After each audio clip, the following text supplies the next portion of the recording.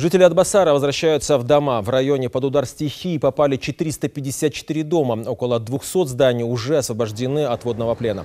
Полностью разрушены 32 дома. Об их восстановлении говорили на выездном заседании областного штаба по ликвидации последствий паводка. Сейчас перед нами стоит основная задача – организованно провести ликвидацию последствий чрезвычайной ситуации, обеспечить общественный порядок и эпидемиологическое благополучие населения.